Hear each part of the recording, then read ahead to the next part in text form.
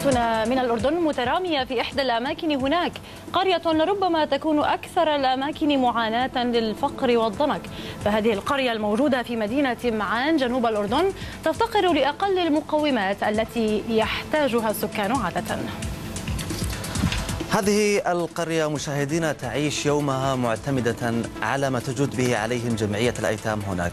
لكن القصة ليست هنا فهنالك في هذه القرية من يعيش في قفص مكبل بسلاسل أغلقت هذه السلاسل أغلالها بيد أخيه كيف؟ ولماذا؟ وما هي مأساة هذا الأسير وسجان الرحيم الذي يربط أخاه ومع كل عقدة دمعة التفاصيل عند مراسلنا عماد العضايلة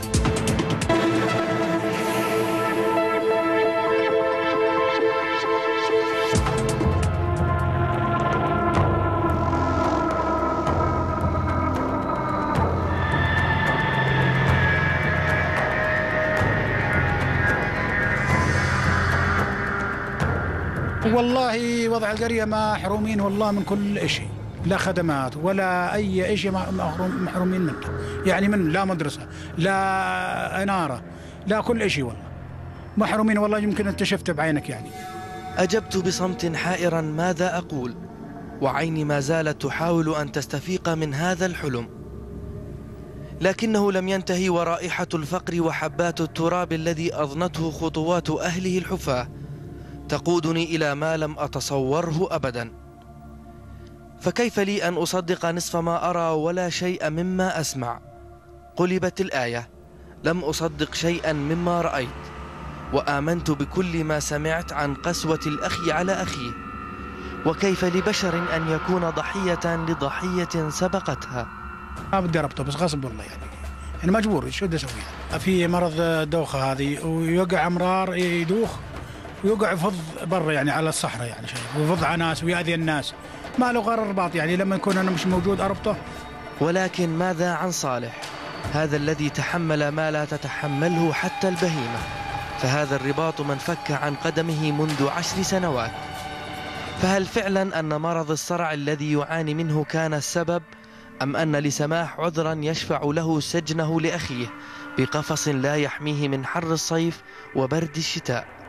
نحن عائلة 12 عندي عيالي وهو 13 أنا عندي غرفة بغرفتين بالأجار حتى أنا مستاجر في الأجار.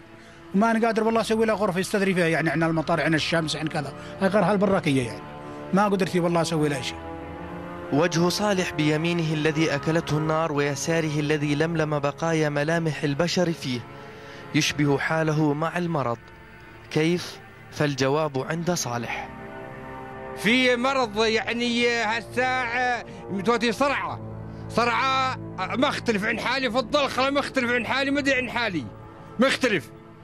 وغالي يربطني يردني أخوي يربطني حجزني. لما أصحى عن حالي وصير منتاز بحل الرباط عندي. أنا في هالبراكيت الحديد هذه سويناها بخشب. خشب قبل امي عندي سويتها لي ولمي آه وأمي راحت وأبوي راح. أخوي سماح الله يسامحه دنيا واخرة. ويقبل كل اعماله عينه علي عينه علي عينه علي. عينه علي مداوم علي. جزاه الله خير الله يخلي له عياله. صالح أشعل لنا النار وأعد لنا الشاي مشفقا علينا من برد اعتاد عليه. وعرفنا على صديقه الوحيد الذي يؤنس وحدته. نتمنى أن يكون الدول غير معترض على قضاء الله وقدره. داعيا ربه كان الله يسر لي وحط لي قبلة وزهى لي بعدين وطبت من مرضي. بقول بركي ان أطلب يا أمي تقبلني وحده تقبلني بعدين. ودي غرفة غرفة وحمام. بس غرفة وحمام وحده لحالها. بس. بدل آه. بدل الحديد هذه اللي البراكيه اللي غار ما ما تكفاني وتفكني من الصقع.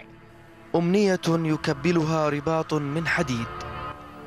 قد تعجز الكلمات عن وصف ما تراه العين من واقع مؤلم ربما يصلح بأن يكون قصة درامية لأحد المسلسلات. فأي منطق وأي عرف يقبل بأن يقضي بشر من لحم ودم حياته مكبلا بأغلال داخل سجن بذنب لم يقترف. ألم لن يشعر به سواه فطعم الحرية محرم عليه ما دامت زوايا هذا القفص مثواه. لبرنامج إم بي سي في أسبوع عماد العضايله محافظة معان.